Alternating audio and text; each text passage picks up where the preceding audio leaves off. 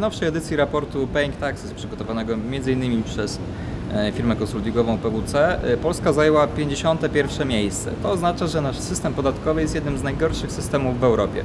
Jednymi z głównych bolączek polskiego systemu podatkowego są skomplikowane regulacje i także duża częstotliwość ich zmian. E, Polskie przepisy podatkowe, również te podstawowe, zmieniają się wyjątkowo często, jeśli porównamy naszą rzeczywistość podatkową z rzeczywistościami podatkowymi innych państw europejskich. W związku z powyższym do polskiego systemu zaimplementowano dwa rozwiązania, które mają służyć ograniczeniu dokuczliwości tych niedoskonałych i często zmieniających się przepisów dla podatników. Są to interpretacje podatkowe.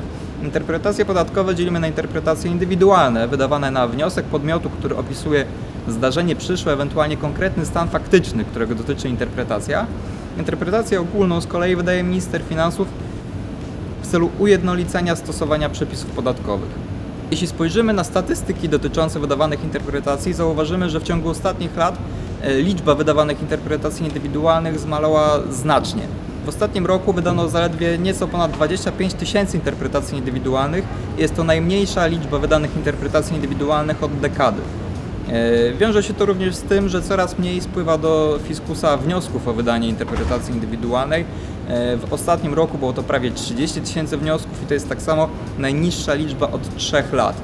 E, Interpretacji ogólnych również minister finansów wydaje coraz mniej.